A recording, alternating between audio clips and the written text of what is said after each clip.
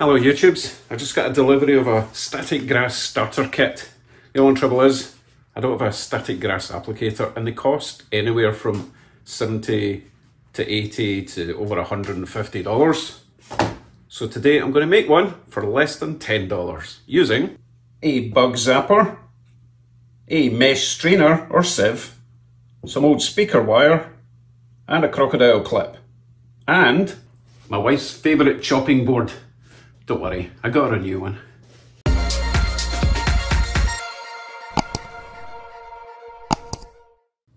In case you don't know what static grass is, it's a method of creating realistic looking grass on your layout using static electricity.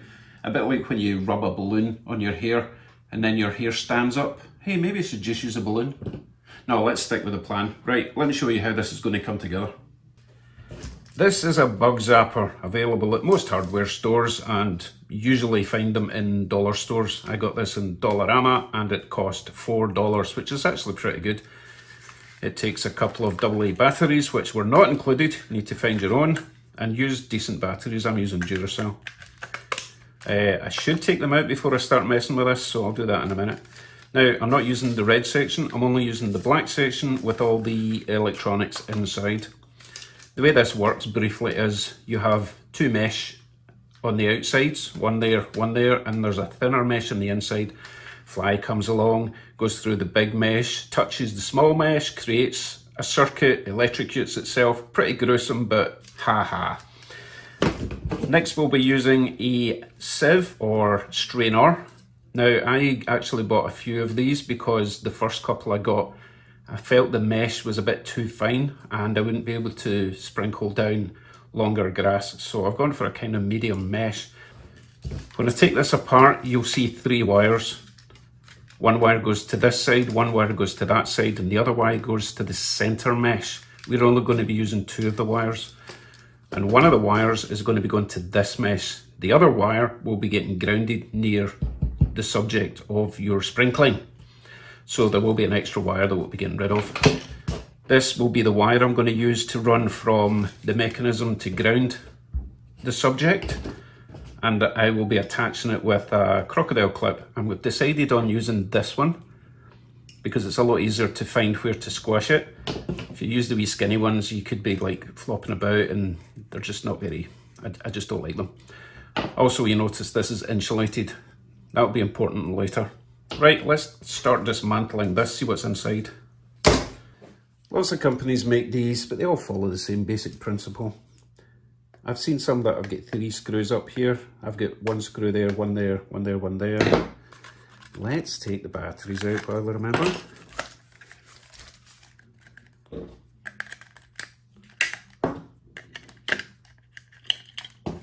Ooh, fancy batteries with a little tester. Nice. Very cool.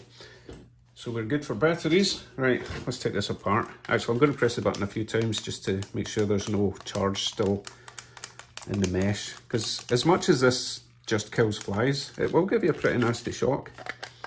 Do this at your own risk, people. Should probably started with that, right?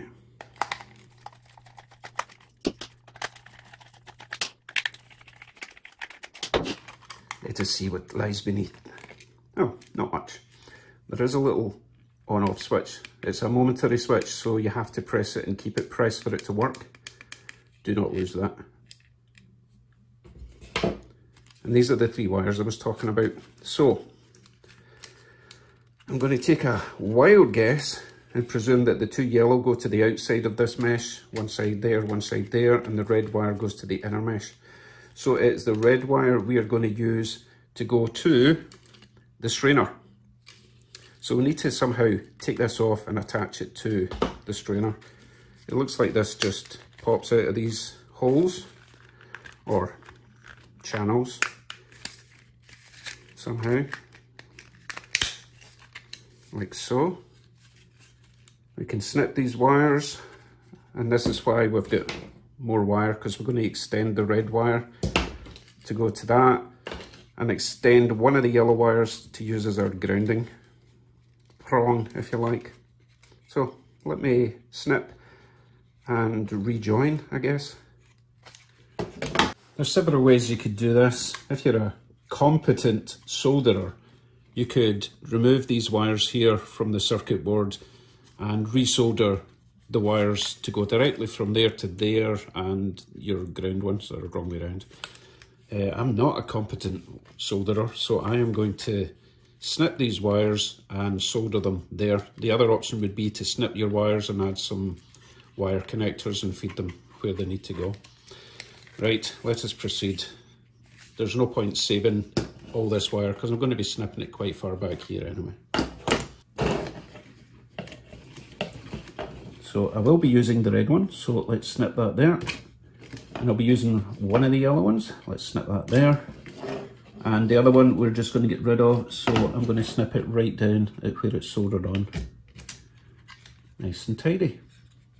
To strip these back because I will be creating a soldered joint to my new wire.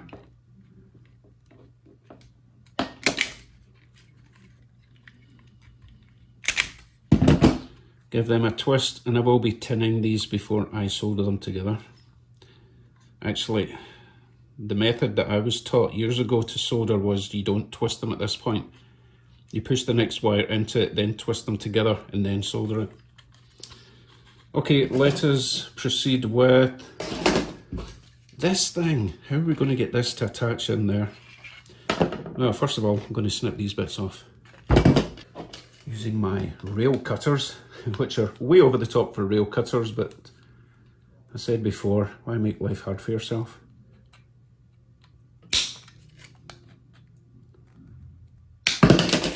Don't need that bit. Okay, so let's see how this is going to line up. Not bad, but I think what I'm going to do is I'm going to straighten these bars out just to make it as stable as possible because at the moment it might do that and I want it to be as rigid as possible and this is where the chopping board comes in. I'm going to cut some of this plastic to this shape, roughly this shape, probably all the way down to there and I'll be doing two slices of it so this will become a, a bit of a sandwich. Don't worry, it'll make sense when I cut it out. So let me do that.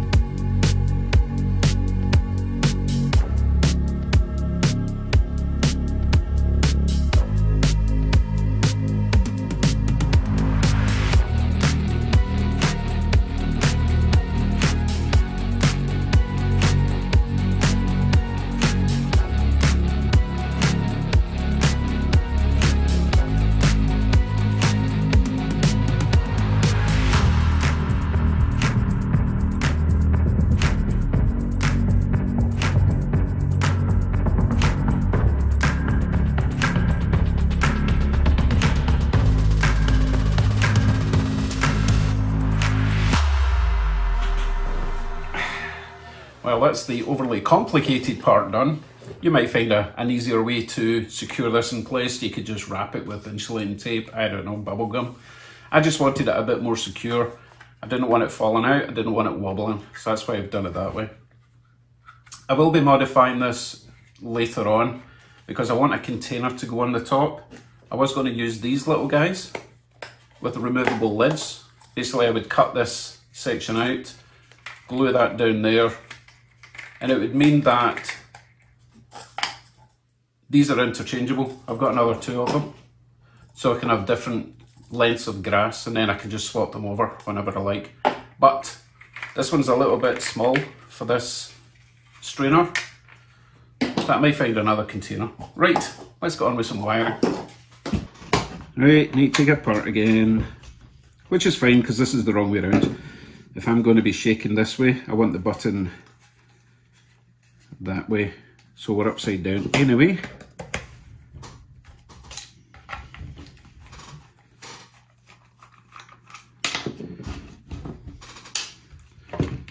Okay. So I'm going to have to drill a couple of holes. I thought about running one of the wires, the wire that goes to the mesh, I thought about running up here, but I've got enough grooves in there, so I'm just going to, going to drill a wee hole through there. One at that side, one at this side.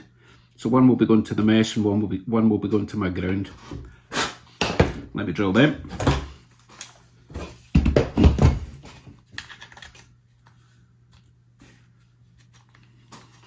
Hmm, I could actually run it quite far up there. I think that's what I'll do.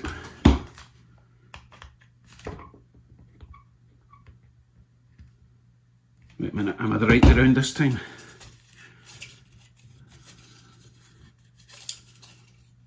Nope, I was upside down, so it's the other side I need. Let me double check. Yeah.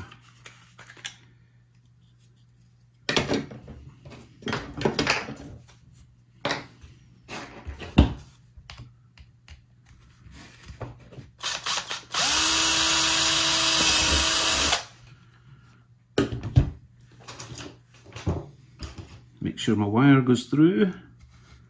Yes, it does. So that's going to go down to my electronic thing. Hmm, that's kind of awkward because it's going to be upside down. I would rather it was all on this side. Oh well. It's more important that it's actually working the way I want it to work. Is that going to be long enough? Yeah, it's fine. Okay, that's that one. And the other one, let's put it back a little bit. Um, I just don't want it getting in the way of my hand. Let's put it there.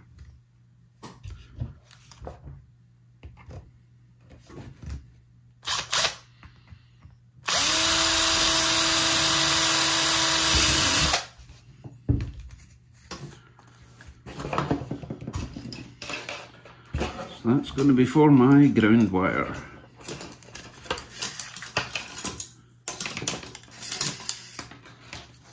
and I will be tying a knot in this but not right now because I want to get these wires soldered on okay so we have decided the red is going to the blue wire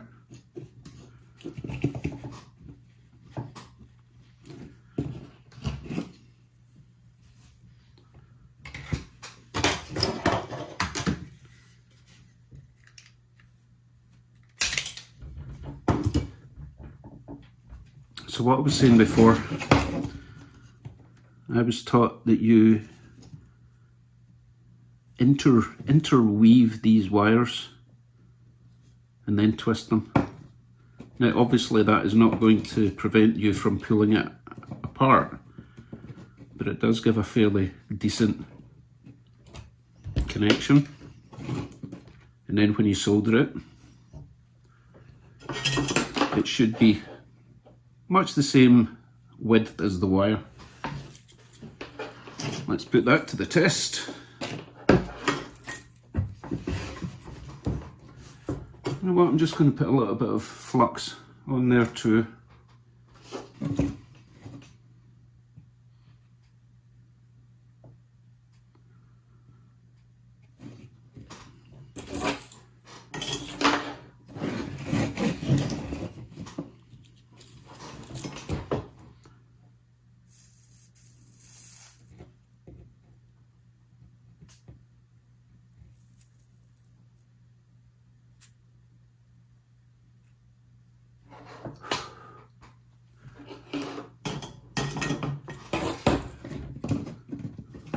Looks good to me. I'm going to use a bit of heat shrink. Uh, I don't need to use all of that. Cut that in half.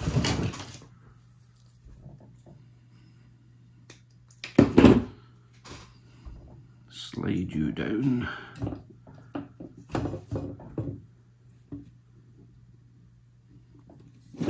Now, I was always looking for a, a lighter or something to heat up the heat shrink, but then I saw a guy just using the, just use the, the soldering iron. It's pretty hot, you know? Would have been better if I didn't use the dirty bit of the soldering iron, but hey. That works just fine. Don't worry, it's not burnt, it's just dirty. Okay, so that's nice. So as I said, that is my power wire. So that's going to the front on the other side of the plastic. Right, yellow one. Same job. Yellow's going to green.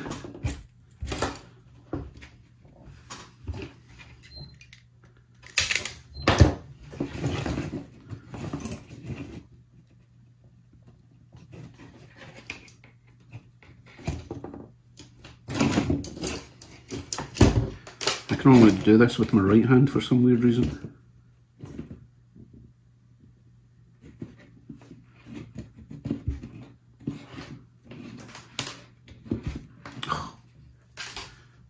It's much easier with thick wire.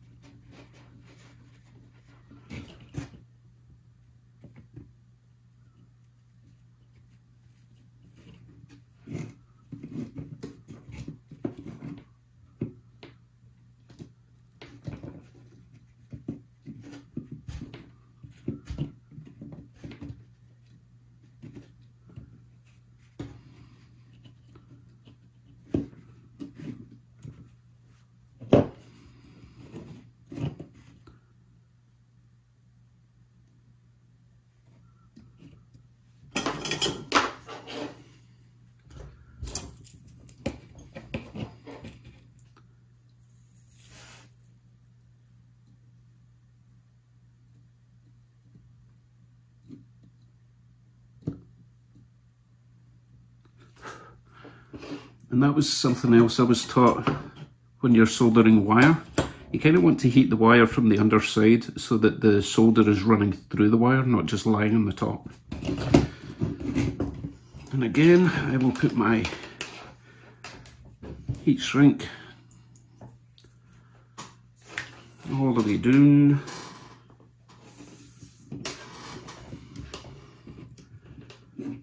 That helps keep the wire together as well. I can do this without getting it all dirty.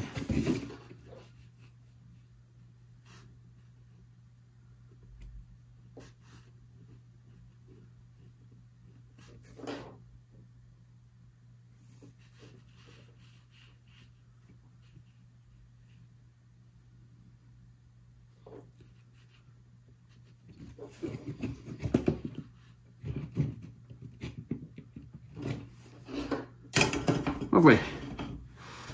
So, won't need to tie a knot in this one because it's going directly to the mesh, but I will be tying a knot in this one because it's going to go down, oh, the other side of course, because I'm fussy about the way I want to trigger this.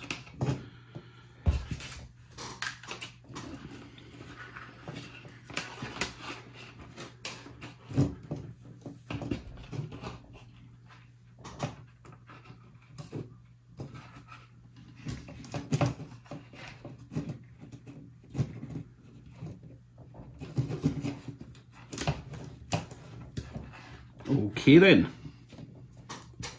let's get it together. Yep, I'm going to have to cut a little groove in that ridge for the wire to go in. Or I could just drill more holes back here. I'm just giving myself more work if I have to start cutting little grooves. More holes. Don't worry, the second one I make will be nice and perfect.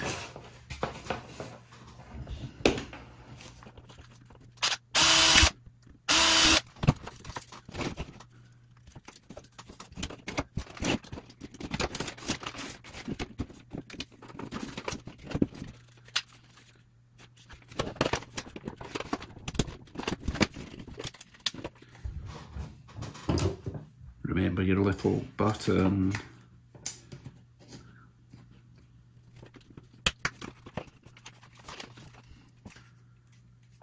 I'm going to put the screws in not mega tight for now because obviously I'm going to have to slide in the the strainer.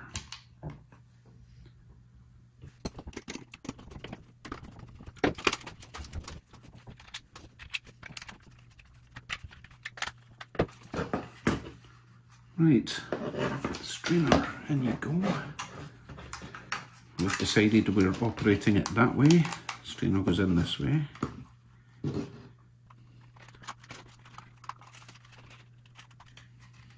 Yep, we can tighten that up there.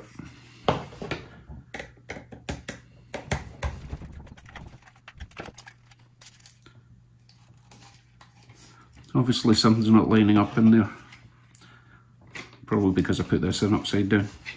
Again, I'll get it right in the next one. It's tight enough, so I'm going to solder this onto the mesh. Some people solder it directly onto these bars, but I just feel that that thickness of bar is going to be taking some of the current away. So I'll just kind of wrap it around there and weld it or solder it to that.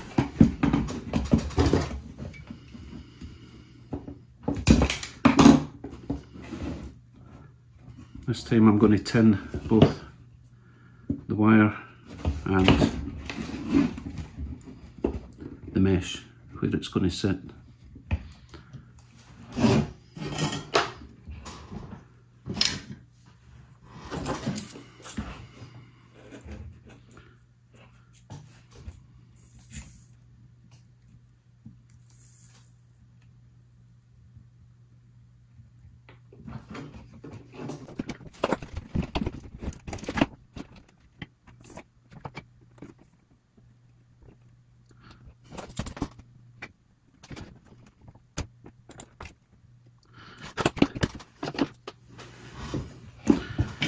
forget that soldering it kind of gets hot.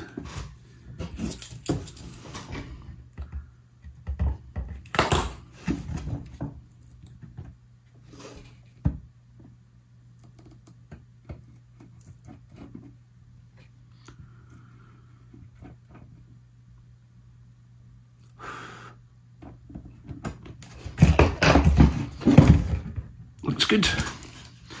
All that's left then connect this wire to plug, not plug, crocodile clip. Doesn't need to be soldered on, but there's no harm in making sure all your connections are nice. Wire through there.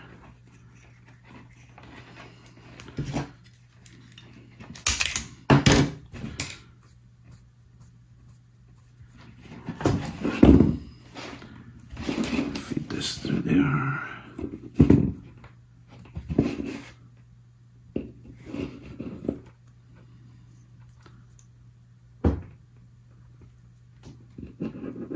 Do a wee wrappy thing. Should have gone the other way. Never too late to fix something. That makes more sense. Let's see if we can get a big blob of solder on there. Actually, I'm going to I'm going to crimp it on first.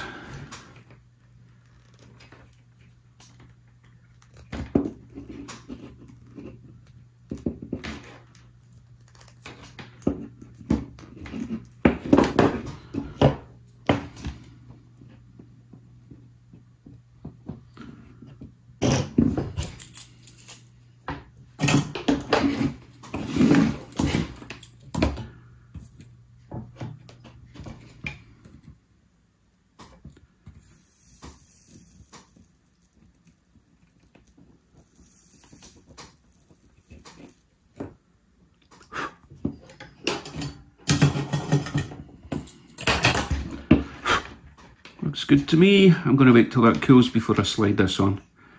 And then we will be done, apart from the batteries.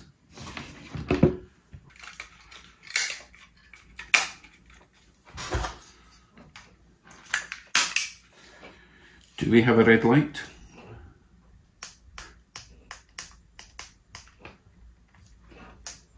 No, don't don't lick it. So theoretically, if I was to touch that against that while pressing that, I would get a spark. But I'm not going to do that because I'm not a fool. But I suppose I better get some glue and some grass and something to sprinkle it on. Oh, exciting. As you may have guessed by now, I've never done this before. But I've watched lots of YouTubes. So I'm going to start with a couple of little spots to make like tufts and I'll do a couple of squares with different thicknesses of glue, shall we say. Little spots.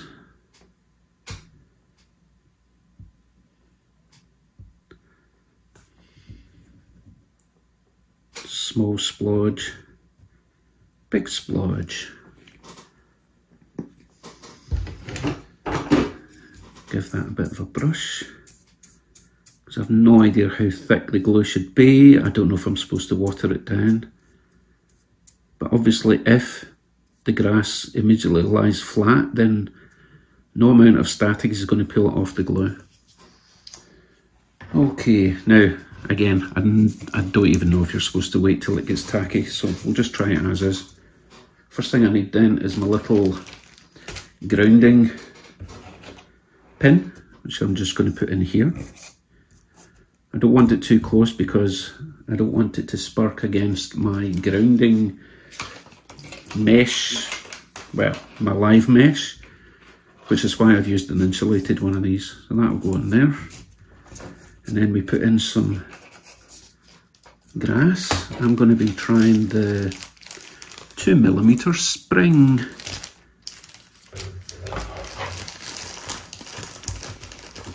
Okay, folks, Wish me luck. Oh, I shouldn't have done it over the glue, I've ruined it already. Hmm, it's quite clumpy. Okay, here we go.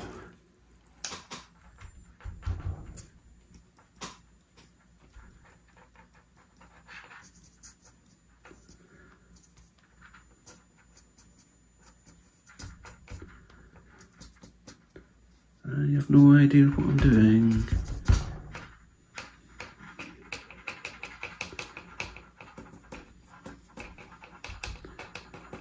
think I'm wasting quite a lot of static grass. That's definitely what I'm doing because I don't think this is working yet. Let me try some more.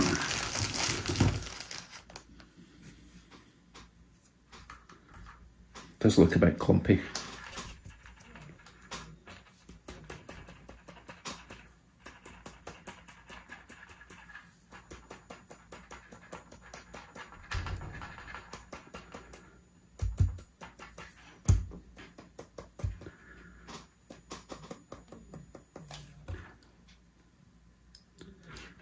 Okay, I'm going to put this back in here.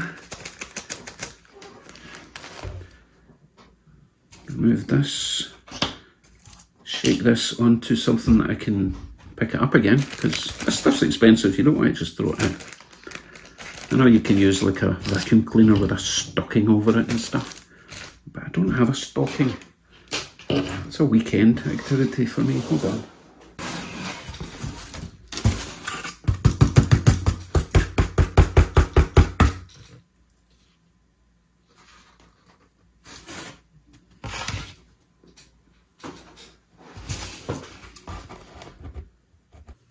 So I wasn't convinced that it was really working at all when I took this apart. This wire was no longer attached.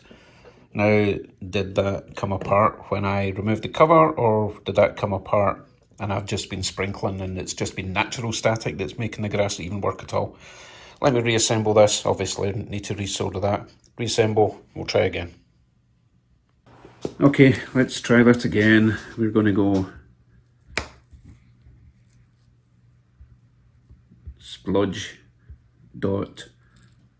Is that a dot or a splodge? We'll do a few. And a big one. And another big one.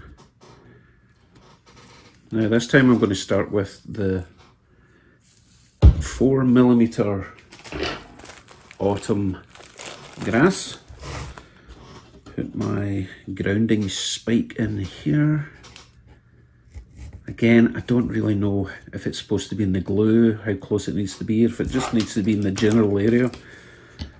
Uh, I guess we'll find out as we go along.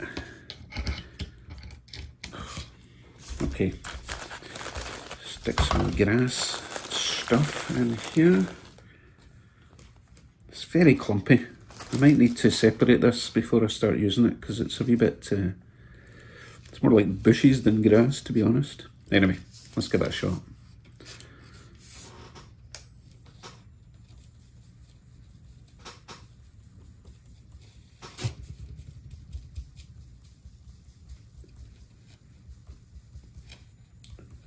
Yeah, I can tell straight away this is working better.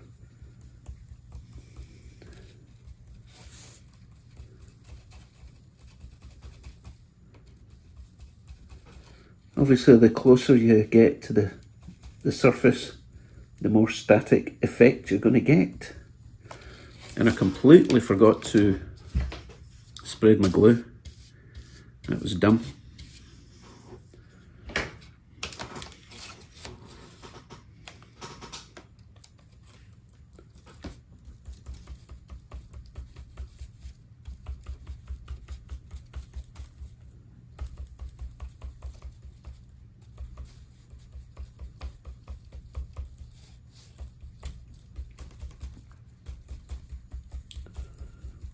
Oh yeah, that is working so much better.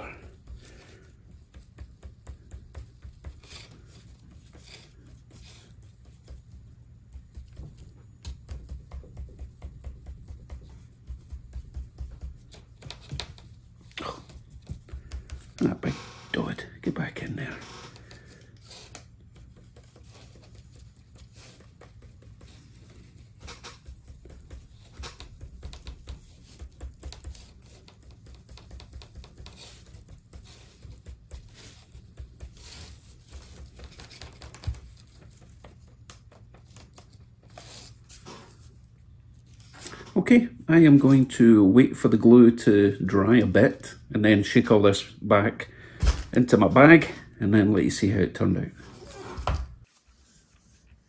Well, that worked way better when it was actually connected to power. That's looking pretty good. I'm happy with that. I will try the 2mm again later, but it's so much smaller, but those wee tufts are excellent. I like them. Even better when it's dry and you won't see the white glue. That was successful though, I think.